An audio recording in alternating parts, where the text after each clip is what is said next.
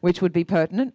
The benefits for you as landholders will extend beyond keeping the soil that you paid for, which you know you only own the top 12 inches, you might as well keep it on your property, um, but also to the health of your livestock and beyond that to the productivity. So please put your hands together for Misko. Thanks, Kim. Can you hear me right up the back? Now? Can you hear me now? Great. So change thing up a bit for the last presentation today. As Kim said, my name is Misko and I'm a civil and environmental engineer and I specialise in fluvial geomorphology. And those of you don't know, fluvial geomorphology is how rivers change their shape and form in the landscape. And then I help um, groups like reef catchments and other NRM groups manage these processes. It's a bit of a plan for today's talk. Going to talk about some of the impacts of stream erosion. Why does stream erosion occur? And throughout the presentation, I'll show different examples of stream erosion. Then towards the end, I'll talk about some of the ways we can choose to manage stream erosion reduce rates of erosion. So to kick off, some of the impacts of stream erosion. So this is a pretty drastic example of the impacts of stream erosion. It's down in Victoria, in the Gippsland region where I used to work. I started my career. It's moving up into southeast Queensland. This is in the Lockyer Valley. This is actually the previous speaker just talking with John at lunchtime. This is just downstream of his property. John, unfortunately, um, has the claim of probably having one, of the worst um, stream bank erosion issues I've seen, for no fault of his own. Um, just upstream of here was devastated in both the 2011 and 2013 floods. The Brisbane River. I don't know if you can see it there, there's some actual people standing up there. So that's almost a 20 metre high bank. So when you're looking at the impacts, it's going to be devastating for farming communities and farmlands. A few years ago after Cyclone Oswald, I think it was, the one in 2013, a Canadian astronaut was in the International Space Centre. And as he was flying up the Queensland coast, he took a number of these photos. So over the Fitzroy River in Rockhampton, you can see just huge volumes of fine sediment being exported out to the Great Barrier Reef Lagoon. Further south, the Mary River near Gympie, and the Calliope River, and the Burnett River as well. So the same process was occurring up all these rivers, huge volumes of sediment being exported out, which is a huge management issue for groups like reef catchments and other NRM, NRM groups up the coast. Also has a huge impact on our water supplies. So this is Mount Crosby Treatment Plant, the main water supply for southeast Queensland. During the 2013 flood event, Brisbane came within hours of having its whole water supply being cut off because they were just pumping almost pure mud out of the Brisbane River. And you can see it here. They couldn't just treat it. It was just so full of mud and silt that it couldn't be treated quick enough. Again, John, I think this is in Mount Sylvia Valley. You might recognise this photo. This is Mount Sylvia Road, the valley that goes up through the, um, the valley that John lives in, in the Upper Lockyer Valley. Had about nine or so creek crossings that were all washed out in 2011 and then worse erosion in 2013 still. So impacts on transport as well is huge. More locally, you're all quite aware that you had some pretty major flood events last year associated with Cyclone Debbie some of the um, once in a generation size floods in some areas. So I did some work with reef catchments, sort of a rapid assessment of the catchment after Cyclone Debbie, trying to see what conditions the rivers were in and, what, and stream banks in particular. Generally, most of the streams in the region are in pretty good condition. They had really good sort of bank resistance. An example here is the Proserpine River, but there are a whole range of examples we found across the region where there was sort of accelerated rates of stream bank erosion occurring. One of the worst examples was Oakey Creek uh, near Eton in the Sandy Creek catchment just south of Mackay. Bank erosion, which has actually taken out this road, you can see. So there is almost been washed out completely. There's a photo of it. So that's where the road used to head off into the creek. So stream bank erosion has basically destroyed that road. Further south, West Hill Creek, rapid rates of meander migration and streambank erosion impacting on sugarcane production. And Cherry Tree Creek as well, which is in Rocky Dam Creek catchment, so similar processes. So that's some of the impacts of stream erosion, but why does it occur? So I firstly want to say that streambank erosion is a natural process, so you quite often see meandering streams which sort of have erosion on the outside bend and deposition on the inside bend. Here's a really good example of meandering stream and stream and old channels from hundreds or thousands of years ago. So it's a natural process and it's been happening for thousands of years and it will continue to happen for thousands of years. But there's things that we as a society have done that have increased the rates of channel erosion. And a really important concept to understand is when you're standing on your stream bank and you're seeing erosion, it might not be caused by local things within that reach. They can be caused by factors well upstream and well downstream of the property as well. I'll show you some of them shortly. So things that happen here or here can affect what happened further downstream. And one of the common causes of the stream bank erosion we're seeing across um, eastern Australia is things that have happened well away from the local site.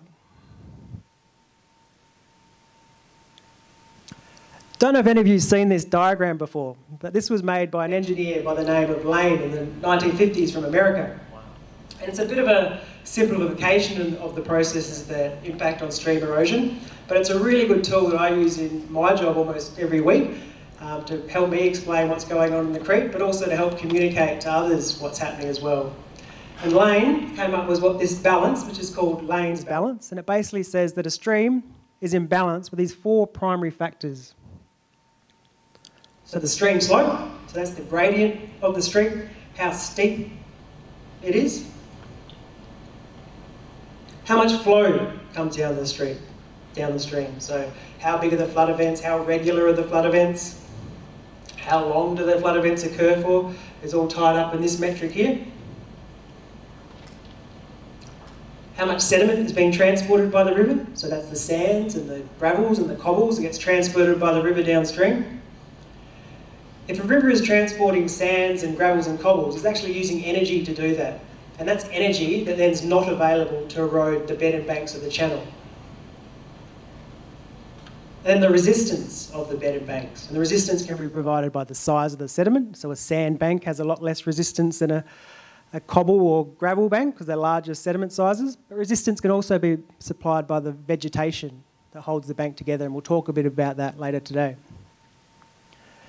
So if you're looking at this balance, if there's a stable stream system, there might be a little bit of erosion here and deposition there. You'd say the stream is it's in balance. But when there's a, a sudden change in one of these factors, the stream can be tipped out of balance. And it can either be tipped into an erosional phase, where the bed and banks start to erode and you get deepening and widening, or a sedimentation phase, where it might start filling up with sands and cobbles and gravels. And if you're looking at the balance again, I like to think of this side, the magnitude of the, the, the, the, multiple of the slope times by the flow is how much energy is available in the creek. And that energy is used to transport the sediment that's coming down the reach and also to overcome the resistance of the bed and the banks. Going to now show a range of examples where one of these factors have been changed and we'll see how the streams or rivers in the examples respond. Firstly, stream flow. One of the most famous examples in Australia of how stream flow has affected the geomorphology or the shape or form of the river is the Snowy Mountain Scheme. Many of you would know what happened in the Snowy Mountain Scheme. They basically made a dam at the top of the Snowy River near Jindabyne and they sent water inland into the Murray-Darling Basin catchment. That resulted in a lot less flow coming down the Snowy River and then a lot more flow being down the Tumut River, which is into the Murray-Darling system. So down here is an example of the Snowy River, a photo of the Snowy River in the early 20th century. So you're seeing a big, wide river, roughly in this similar spot. And there's this photo here is what it looks like now. So all that flow that used to come down the river no longer goes down the river because it goes down through the Murray-Darling system, but still getting all this sediment supply from the hills and the gullies, so you're starting to fill up and the creek is actually narrowing. So if you're thinking of the balance, I'll go back to the balance. you've had a real reduction in stream flow. Everything else has roughly stayed the same, so it's gone into a sedimentation phase. And you're starting to see the valley fill up with gravel. On the other side of the valley, of the range, going into the Tumut River, where it's had a large increase in stream flow. All that water that used to go down the snow is now being pumped through the hydroelectric system down the Tumut River for irrigation. You're seeing wide scale channel change, a massive erosion. So if again you go back to the balance, it's got a lot more energy and it's tipped into an erosional phase. Stream slope. This is an example out in the Bowen Basin. So most of the mines in the Bowen Basin now have really good protocols around how they manage waterways around their mine systems, but this was taken about 15 years ago before some of these systems have been developed. And here's an open cut coal mine, and you can see an old stream path going roughly through here. They wanted to access the coal under the stream, so they've had to create a stream diversion. And you can see the new river system's been cut through there. So it's taken a really sinuous, windy river, put it down a straight path and drastically increased the slope. And you've seen large-scale channel erosion through here as a result of that steepening up of the slope.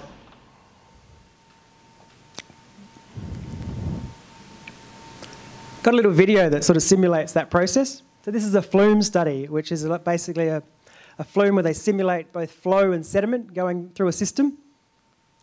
I think. Uh, Dutch.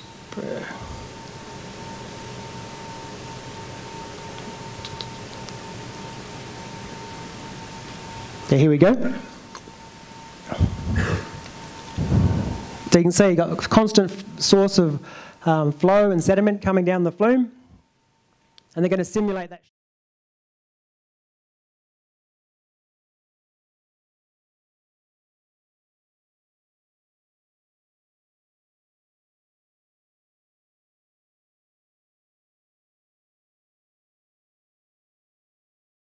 channel upstream of that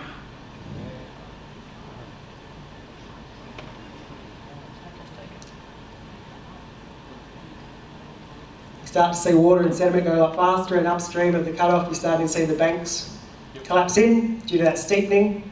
We go back to the balance, tipping it into an erosional phase.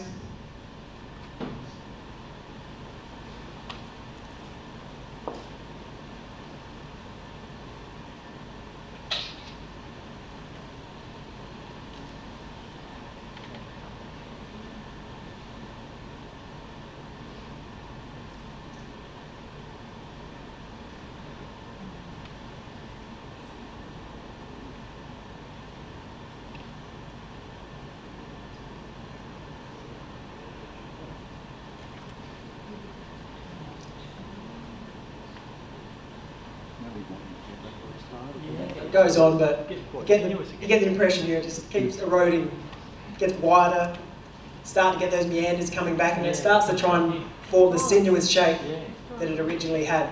So over time, that's what rivers do. You tip them out of balance by straightening them or another process. Over time, they'll try and adjust their form to replicate what they originally had. You can still really see it here. Sand and gravel extraction. Many of our rivers have been reused as a resource for sand and gravel to support um, urbanisation, building, cement. One of the worst examples is uh, the Mary River down in southeast Queensland, and this is in Kenilworth, just um, sort of in the Sunshine Coast hinterland, not far from Noosa. Heavily, heavily sand and gravel extraction industry in the sort of 1980s to support the development of the Sunshine Coast. And if you, oh, wait.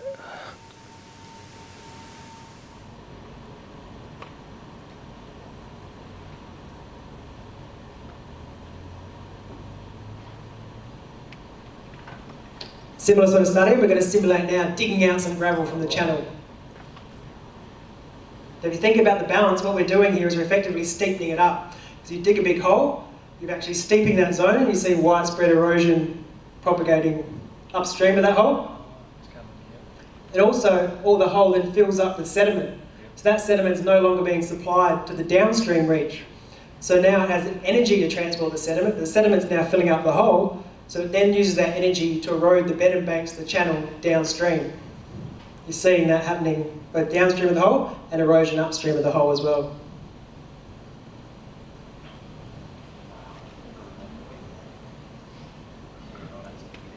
Now it's going to simulate a floodplain mine. Quite often you extract sand and gravel from the floodplain. Can be done safely, but if you get too close to the channel, again it's steepening up the slope, and it's called what's called the pit gets captured. And again, you see widespread um, erosion heading upstream of that.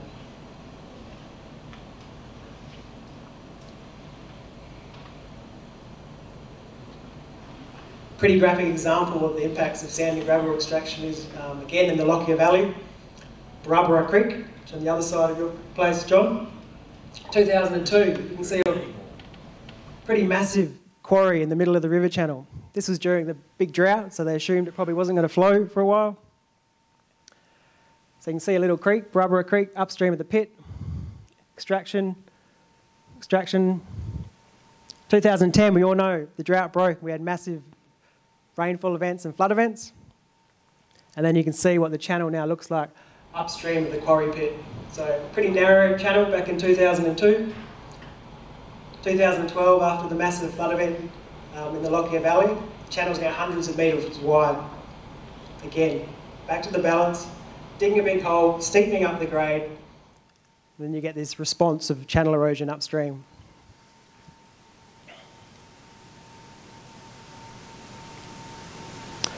So most of the examples I've been showing you have been about what happens when you tip the balance into an erosional phase. But also, changes in sediment supply and increases in sediment supply can make channels fill up with sediment. A classic example, I was doing an aerial assessment of the Fitzroy River catchment um, just the other week. And there's widespread gully erosion in the Fitzroy River catchment. Here's a pretty graphic example of a major gullying system. And there's a lot of fine sediments in that that get washed straight out of the reef. There's also a lot of sands in there too. And if you now were flying over the Isaac River, it's almost completely filled up with sand. So all the pools that used to support fish and used for pumping and whatnot are now just completely, it's just a sand landscape.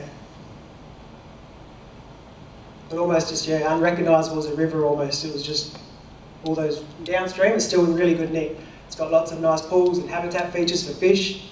This sand is just propagating its way down the system.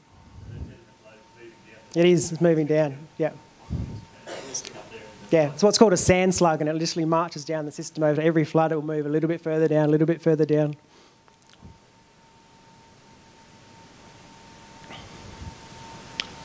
Bank resistance. Um, it's a really important part of the balance. And as I said, it can be created by a range of things, so rock, concrete, they can all be forms of bank resistance, but the best form of bank resistance is native vegetation. Here's an example just not too far from here. It's Bagley Creek, really good um, riparian vegetation. We like to call this geomorphically effective vegetation is structurally and age class diverse. So it's not just a grass, it's not just a tree, it's a range of those structural features. So you've got the ground covers, you've got the shrubs, and you've got the larger trees. And you need all of them to be really good bank resistance. If it's just grass, quite often it always likes to think of grass is only as strong as its weakest link quite often see it gets a little patch where there's no grass and it'll get in and get under it. If it's just trees with no grass, you quite often see scour around the tree. Um, so it's those combination of those structural elements that provide really good bank resistance. And why does it cause um, really good bank resistance? So scour, scour is the erosional mechanism when fast flowing water starts to mobilise the sediment. Vegetation uh, provides hydraulic resistance. So as the flow starts flowing through the vegetation, in this example, it has to use its energy to overcome the branches, the leaves, the foliages.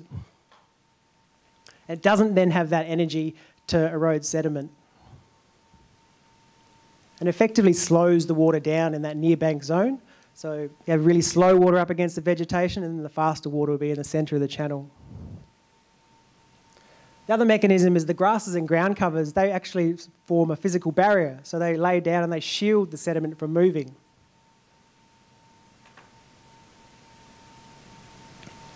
So that's how it impacts on the sort of the scour process. The other important one is mass failure or bank collapse or slumping.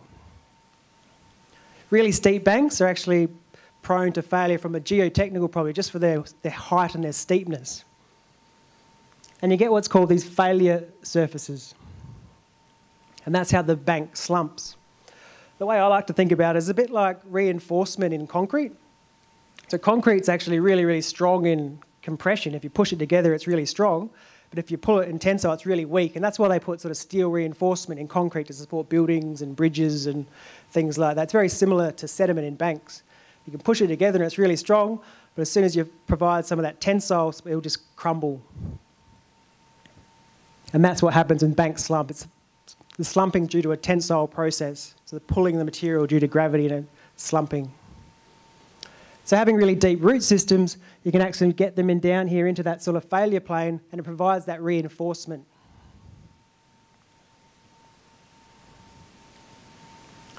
A few years ago, I was oh, back 2010 now, I was involved in a project uh, with the Victorian government. There was a parliamentary inquiry in the role of riparian vegetation in both um, flooding and also in stopping erosion. Bit of background, the Vic Victorian government invested quite heavily in revegetating stream systems during the 90s and early 2000s. And then they had then they had the drought, and then they had huge floods in 2010, similar to sort of southeast Queensland. And there was a lot of sort of angst and community sort of blaming vegetation on flooding or blaming vegetation on erosion. So we had this um, task to go out there and work out what role these revegetation programs had played in limiting or um, stream bank erosion. So what we did, we found a range of paired sites, and we used those paired sites to, one had been revegetated, say, 10 to 15 years ago, and one hadn't.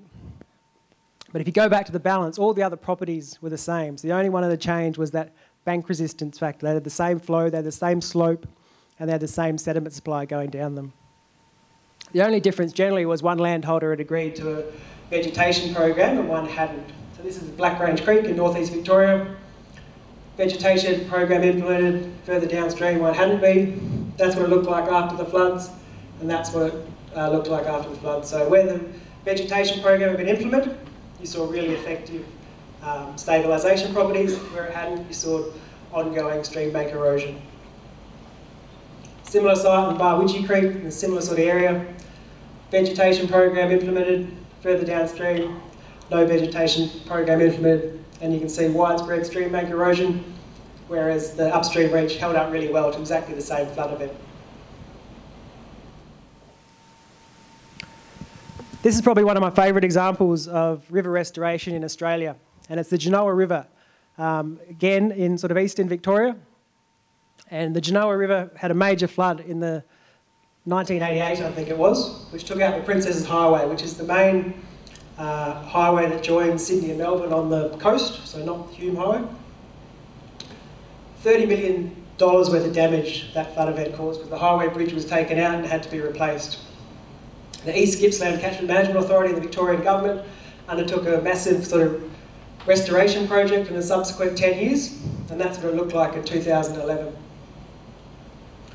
They actually had a similar size flood event in 2010 to they did in 1988, and I think there was something like $20,000 worth of flood recovery damage compared to 30 million in the 80s.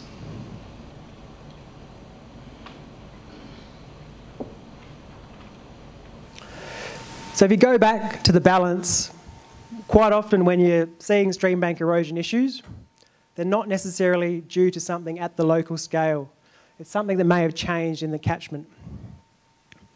And quite often it's changes in flow, quite often um, first settlers and European, they came here, they removed vegetation because they thought it increased flooding. And that's true. At the local scale, if there's vegetation, you will see more floodplain inundation. But if everyone does that further downstream, you have higher flooding because water travels faster through the reaches and gullies and you end up with higher flood peaks further down. So quite often we're dealing with larger flood events than we're used to for the same given rainfall event. And again, I mentioned bed and bank resistance, so vegetation has sometimes historically been removed. So we're effectively sliding that that way and increasing this. There's also those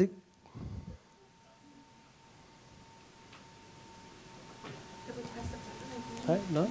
Palmado.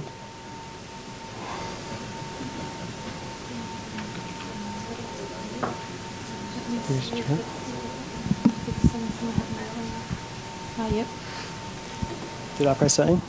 No, I don't know.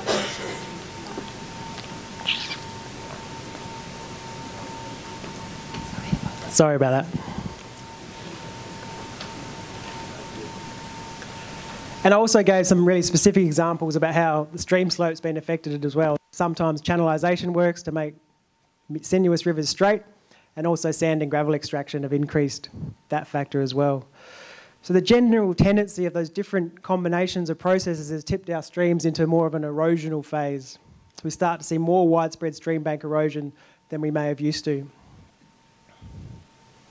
So the key changes I just sort of highlight there, increase in flows during flood events due to changes in the catchments, decrease in bank resistance due to changes in riparian vegetation condition.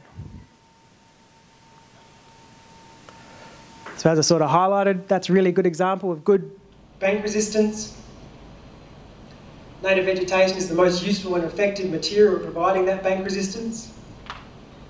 Operates across all scales. So I talked about the, the ground covers providing that sort of armouring effect, the larger trees providing the bank strength, and then also the hydraulic impact of that vegetation and foliage in the branches. It's cheap and has a whole range of associated ecological benefits. However, it takes time to grow. And that's probably the major issue in implementing vegetation programs for stream bank erosion. This is what we like to call the trajectory of change. Up here, you've got rehabilitation effort, so how much money or resources you need to put in to rehabilitate a stream system. And down here, we've got how much resistance that provides over time. So as you can see, you can put in a lot of effort planting vegetation, but you don't get much benefit straight away. It takes time for the vegetation to establish. And after sort of 10, 15 years, you can get really, really good bank resistance out of vegetation establishment programs. However, unfortunately, some of our stream banks look like that. If you go out and plant vegetation along the top of the bank or on the actual bank face, which you probably can't because it's actually too steep. But it's not really, it hasn't got a very high likelihood of succeeding. It's going to, you know, there's going to be erosion of the toe and the vegetation will topple in. There's two kind of processes that cause this bank to erode. It's the hydraulic forces along the toe of the bank, which cause scour. And hydraulic forces are actually highest along the lower end of the bank, and they get less and less as they go up the bank. So they're related to the depth of the flow. So at the bottom of the channel, the forces are higher. At the top of the bank, the forces are lower.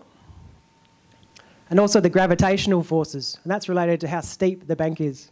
If you have a really steep vertical bank, it's going to be much more prone to failure and slumping due to those gravitational forces and the weight of the bank, causing that tensile failure I mentioned earlier, compared to the ba a bank that will, a bank that's sort of gently sloping,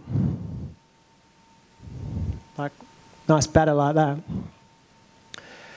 So a range of tools that we use to overcome both those processes. So this is down the Oxley River in the Tweed River catchment near where I live in northern New South Wales. Really steep vertical bank. That was just after Cyclone Debbie, that previous photo. And with the Tweed Shire Council, we've laid the bank back on a nice batter to one is to three, so for every metre up, three horizontal. That's enabled some grass to get established and now some trees have been planted. And then we use rock and timber along the toe to protect, it's called, it's called toe protection. So as I mentioned before, the highest forces are along that lower toe zone. So you protect that against those higher forces and that supports the upper bank for the vegetation to get established over time. More locally, the O'Connell River which done some work with reef catchments on. Similar process, steep vertical bank, um, been laid back to a nice stable gradient, and then rock used along the toe to protect that really high energy zone. And that's really critical in a lot of these stream systems, just to provide that little bit of toe protection, which allows the vegetation to get established on the bank. If you didn't have that toe protection, you laid the bank back like that, so it's a nice stable gradient, that's good to revegetating, but unfortunately over time it'll just get eaten away, especially on the outside of a bend like this, it'll get eaten away and the vegetation will collapse into the channel. That, that wouldn't, that wouldn't slump itself naturally over time, just go and, and like revegetate through a natural process like that you, This one wouldn't. yeah, exactly. Um, that's a good point, and sometimes they can. Yeah, this one particularly wouldn't. It's on the outside of a meander bend. You can see it sort of flowing around like that. Yeah, it's all the forces on the outside of the bank, and it's sort of a meander migration process. But then now there's no real trees on the upper bank to provide that resistance over time, so it would keep retreating. But that's a really important point. Not all banks will necessarily continue to erode the way they have. Another tool we like to use, just a bit of a different process to the rock toe protection I just showed you, is called pile fields. And here's an example from um, when they were implemented in 1996. They're basically rows of timber piles that you use the excavator to bang into the river channel. And generally they're about 200 to 300 metres in diameter and then you have a gap of a similar sort of magnitude. And what that does, it sort of creates the artificial um, forest effect that I was talking about before, is the flow has to travel through the piles, um, has to overcome the piles and create that resistance, similar to vegetation would. So it turns what would be a high energy environment, so where the fast flowing water would typically flow along the edge of the bank, it turns it into a low energy environment. And you can start to see seeds and sediment being dropped out in that zone. So all these seeds that have just established here, that was largely a natural process due to the piles slowing down the water enough, starts to drop out sand and seeds that might be coming down in flood events, and over time you get colonisation along the lower bank. O'Connell River. So this is down the lower end of the O'Connell River. This bank here um, produced 60,000 cubic metres of sediment between 2010 and 2014. So as a guide, that's something like 50 or 60 Olympic swimming pools of sediment just came out of one bank. So we helped Reef Catchments design a solution which laid the bank back. Again, it was on the outside bend, so we thought this was going to keep happening. Didn't have much vegetation along the top of that bank. Pretty sort of sandy, silty material, so it didn't have any good bank resistance. So we helped Reef Catchment design a bit of a solution, again with the pile fields. And hopefully I've got a video of it playing here.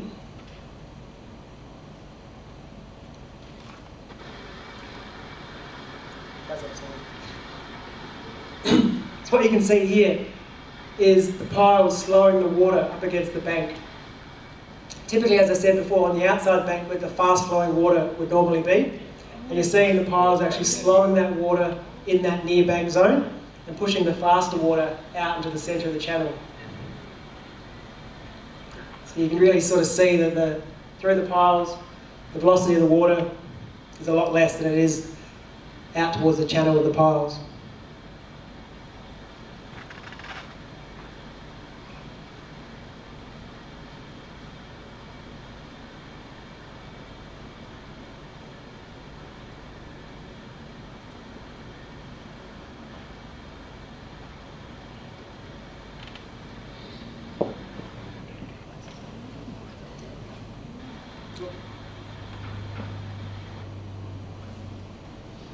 As you can see, there's been really good grass establishment in around the piles, and just recently, uh, I believe Reef Catchments went out there and did a whole lot of planting on that bank as well.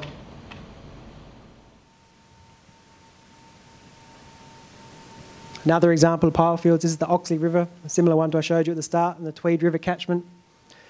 Devastated after the flood associated with Cyclone Debbie last April. Laid the bank back, put in rows of piles to slow that water down and implement a vegetation program.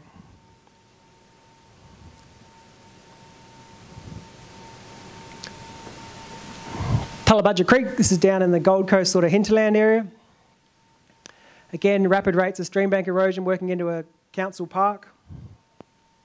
Came up with a bit of a different approach here. Um, had some sort of shallowish bedrock here, so driving in piles wasn't going to be an option.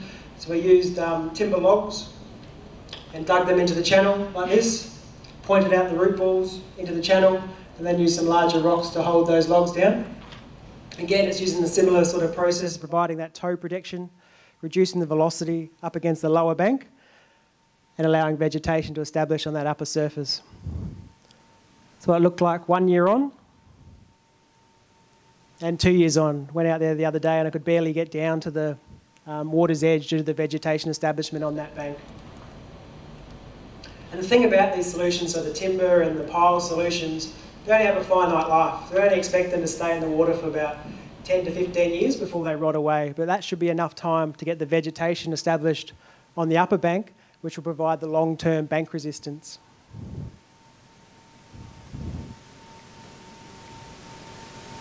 Take-home messages.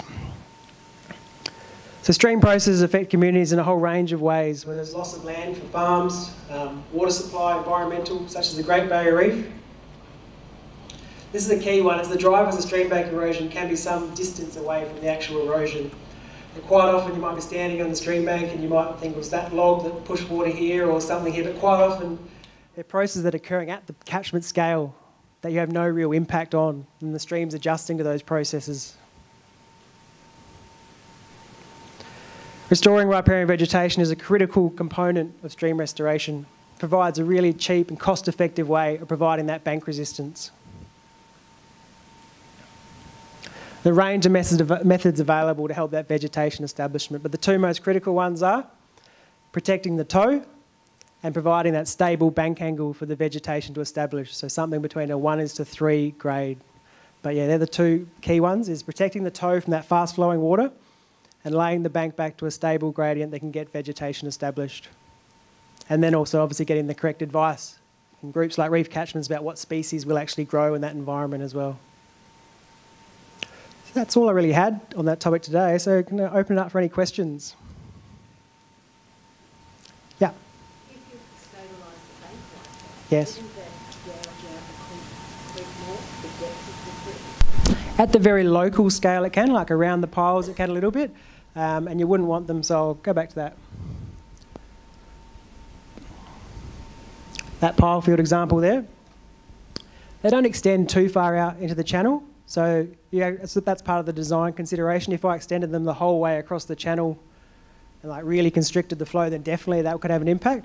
But you might expect a little bit of extra sort of sediment moving on the outside of the piles, but it wouldn't have enough impact to destabilise the system. It's all part of the sort of consideration and we sort of model the velocities and work out how much um, damage it could potentially do, and it wouldn't have them extending too far out to the channel. So generally they might only extend like maybe 5% out into the channel, and that's not going to have an impact on the other bank or further downstream, just going to have an impact at the local scale.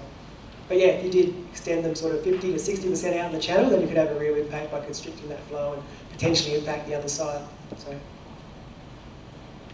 yeah.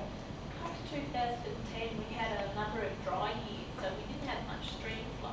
Yep. Uh, in that time, um, a lot of vegetation grew up Yeah. in the stream, in the middle of the stream. Yep. And what we're seeing now is a lot of it is getting bigger, and the stream's trying to move around them, and that's what's causing more vegetation, a lot of erosion. But Yep. with the clearing that we're not allowed to do within the creek system, how can we remedy that? Um, provide resistance on the banks as well. So it does quite often happen in droughts. You get a lot of vegetation established in the channel, and if you have nothing, no resistance on the banks, then it will cause some deflection into those banks. But if you have really good resistance on the banks, then the flow will be almost be forced to scour out that vegetation rather than scour out the banks.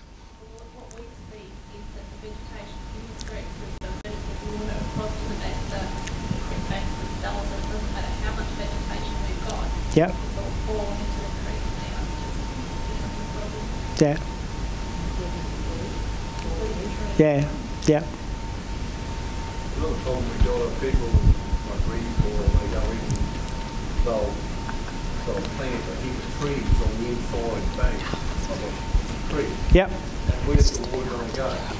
Yep. To the outside. Yeah. And I've seen that in a few of your clips there, where you've got a lot of, So keep going. Yeah. yeah, where, where you've got, well, I've seen a few, few incidents there where you've got a lot of erosion on the outside bank. Yep. there's big trees going, going across. And of course, that's the water goes around, it swells.